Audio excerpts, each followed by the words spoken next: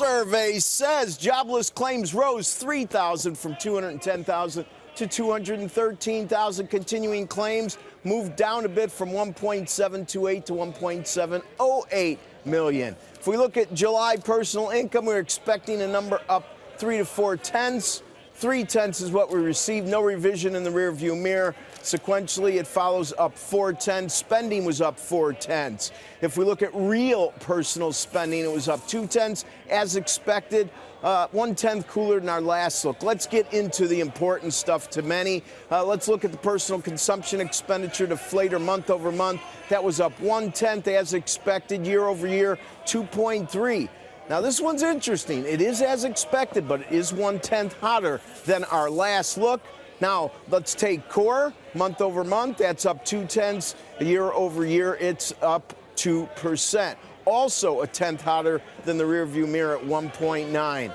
Uh, as I look across the spectrum of markets, we're almost exactly unchanged. The, the long end 30 year bond's been getting a little bit more extra volatility, but the markets are getting a little bit thin, of course, in front of the upcoming three day weekend. Becky, back to you. Hey, almost the weekend. It's almost here. Thank you very much, Rick. We'll right. talk to you soon. Steve Liesman is joining us right now, too. He's been going over the numbers. And of course, Steve, welcome back from Jackson Hole, where you spent so much time tirelessly working. with all those Fed guys. Yeah, we were doing so uh, hard. working He's very exhausted. hard, He is.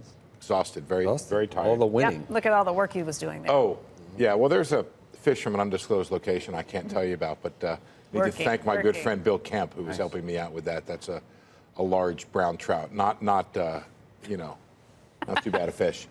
Let's talk about the personal income and spending numbers, which are which are pretty good. Down a tick on the income number.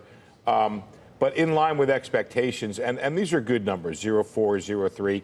Wages and salaries, another strong month, uh, 0.4 in July, uh, 03 on disposable income. Uh, durables down a tick that might reflect the uh, fall off in car sales. I don't know if you guys are registering that in market in stock market prices for some of the autos, but you have had a bit of weakening there. Uh, but non-durables up 0.4. And there's that new adjusted savings rate, which they adjusted a lot at 6.7%. They, they did a, a revision of this. That's a big number. It- well, they're big. You kind of got to get used to the new level because they were down, I think, in the fours and fives, and then they went back and they looked at it again. So there's more savings out there. It's a healthier rate now. Well, than we it's a healthier rate, but I, I mean, there's that fine line between a point where it's a healthy rate and people are putting enough aside that they're supposed to be saving for a rainy day, saving for retirement, saving for all kinds of things. But then every time people save too much, we worry that they're not spending it. Is this a healthy number because they're spending at the same time they're also saving? I, I, I think so. I think people are putting, and what the trouble with a number like that is it's an aggregate number.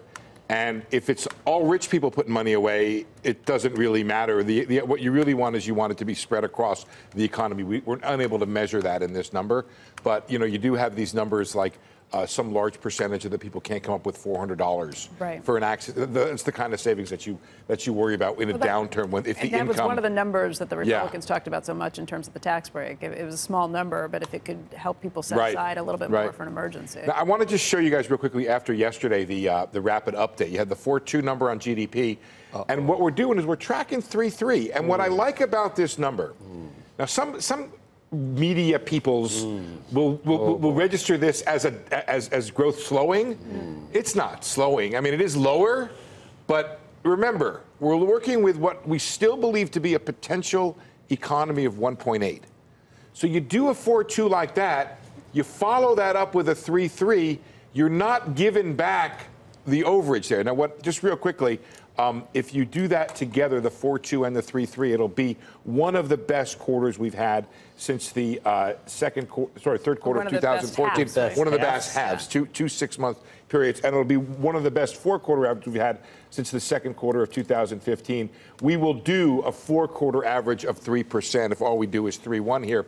So the bottom line in all this, and, and this is not before this data came out, which is in line. So I don't think we're going to get a big change today in the GDP outlook. The idea is that July was still strong. All the most of the data that's coming in from July is supporting this idea of being over uh, the potential growth by, by quite a bit. You know, and we'll see how long that lasts.